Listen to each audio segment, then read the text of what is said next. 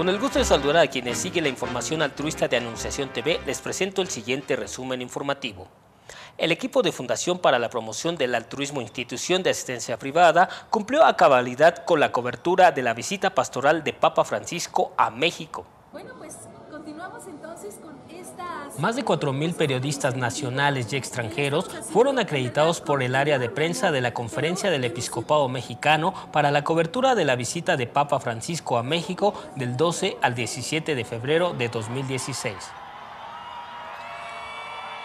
Con el deseo de informar y transmitir a México y al mundo el mensaje de Papa Francisco durante su segunda visita pastoral, el equipo de Fundación para la Promoción del Altruismo IAP se sumó a la cobertura. Hola amigos de www.anunciación.com.mx. Somos hermanos, Anunciación TV, www.anunciación.com.mx y nuestras redes sociales. Estuvimos puntuales en la información desde el Centro Internacional de Prensa, la Anunciatura Apostólica, el Centro Histórico, Palacio Nacional, Basílica de Guadalupe, Hospital Infantil Federico Gómez, las calles de Morelia, Michoacán y la reunión con los jóvenes gracias a los accesos obtenidos mediante sorteo internacional.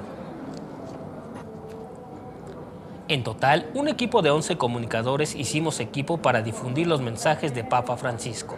A cada periodista le fue encomendada una tarea, sin importar el calor, el frío, las largas caminatas, las desmañanadas y las desveladas, la información se podía ver puntual en la página web www.anunciacion.com.mx, en YouTube y en las redes sociales, Facebook y Twitter. Mientras unos trabajaban en las calles, misas y eventos, otros trabajaron en la sala de prensa rodeados por compañeros de distintos medios internacionales como Radio Vaticana y Eurovisión, y con el Papa de la Conferencia del Episcopado Mexicano.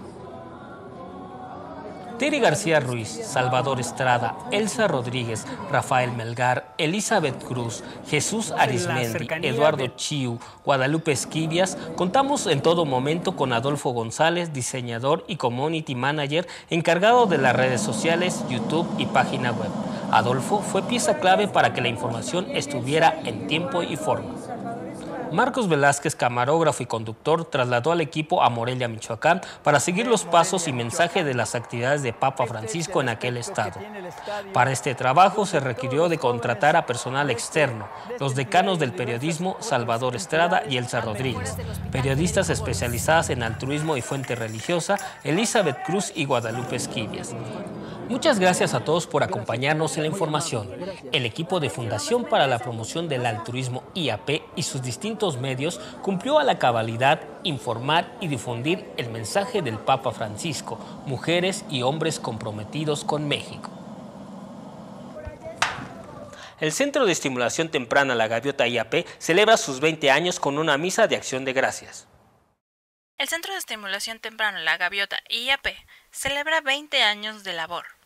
El Centro de Estimulación Temprana IAP brinda educación preescolar y terapias personalizadas de lenguaje, física y equinoterapia a niños desde 0 a 10 años de edad. Además, brinda educación desde nivel maternal hasta preescolar.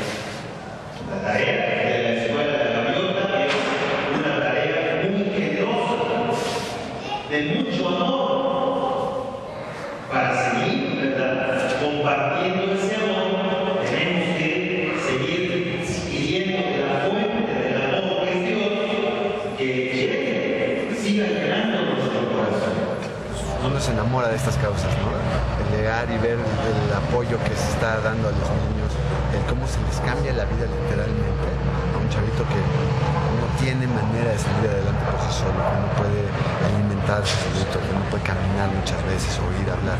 Y de repente, tras una terapia, de varios años conjuntada con su educación preescolar, le cambiamos la vida a la gente.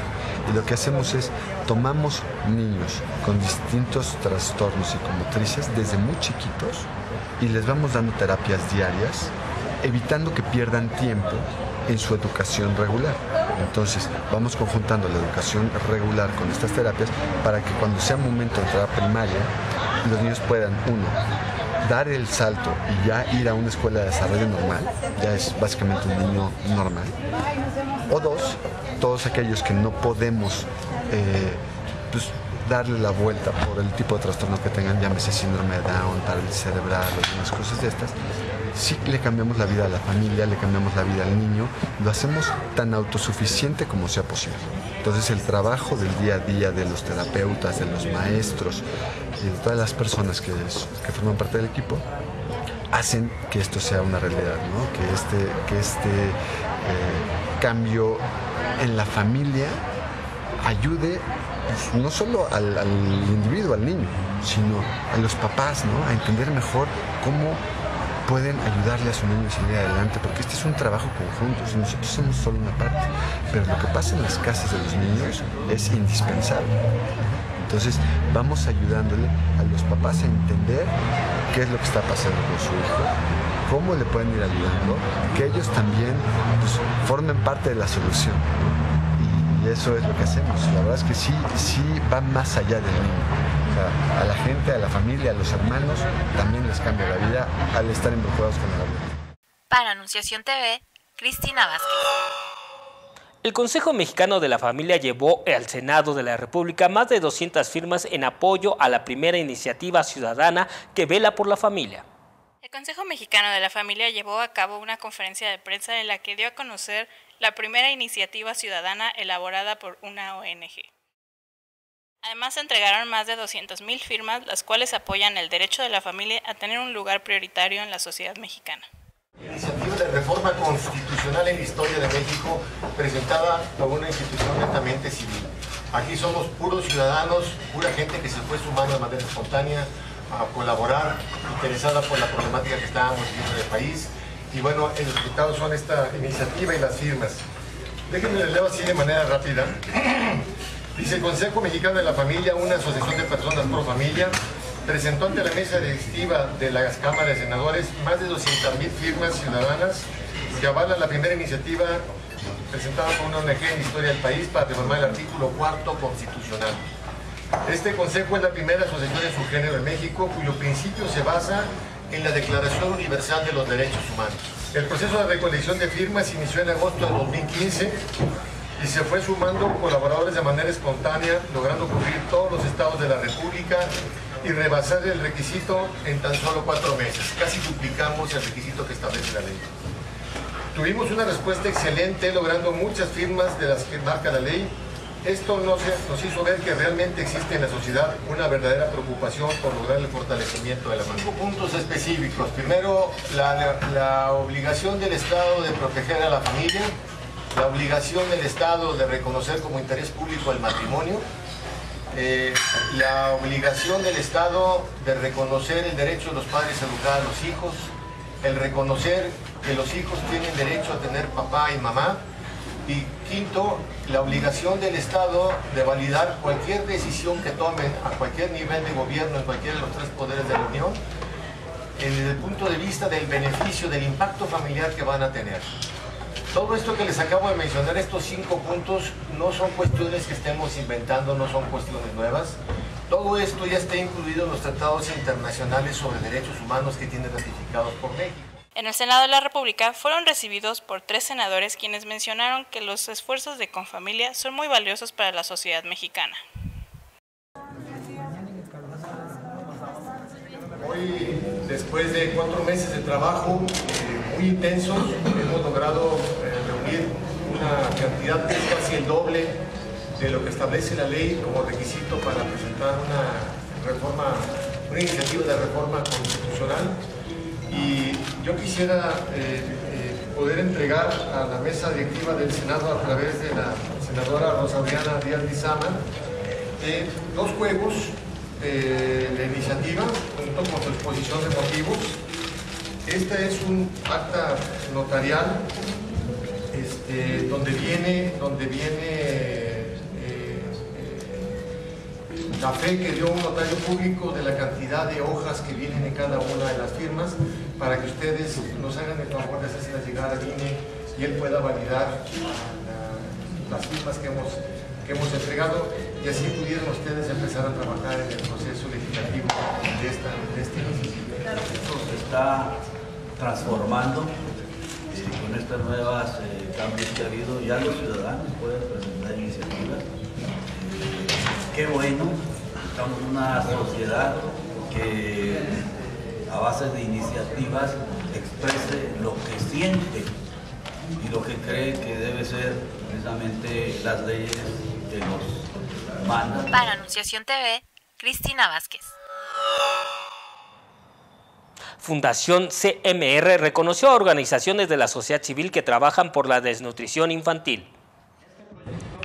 Fundación CMR reconoció la labor de organizaciones sociales que contribuyen a mitigar el problema de la desnutrición infantil en la República Mexicana, como resultado de la convocatoria lanzada en octubre de 2015 para conmemorar el Día Mundial de la Alimentación, se recibieron más de 100 proyectos enfocados a mejorar la alimentación y nutrición infantil, fueron postulados.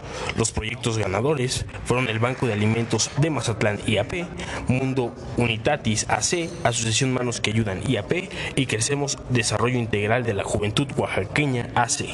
Yo lo único que quiero decirles a todas las fundaciones que nosotros apoyamos y a todas las fundaciones que existen acá es que me siento cada vez más orgulloso de ustedes porque realmente son héroes. Son héroes, son personas que han decidido atacar un problema de importancia nacional de manera sólida, de frente con ganas de solamente tener un impacto a, los chavitos que apoyan.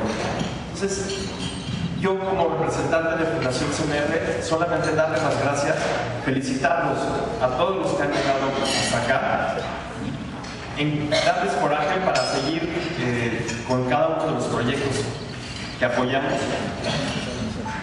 y de verdad decirles que, los niños lo necesitan hoy más que nunca y que con los proyectos que vamos a apoyar, los proyectos que cada una de las instituciones que aquí están representadas tienen, realmente se hace una diferencia, porque hacer la diferencia en una vida ya bien vale el trabajo que todos nosotros hemos hecho.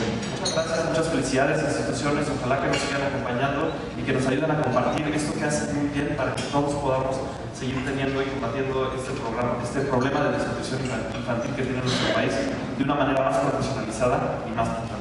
Muchas gracias a todos por acompañarnos, bienvenidos y más información sobre el quehacer sin lucro de la sociedad civil mexicana en www.anunciación.com.mx. Tenga usted un muy buen día. Hasta la próxima.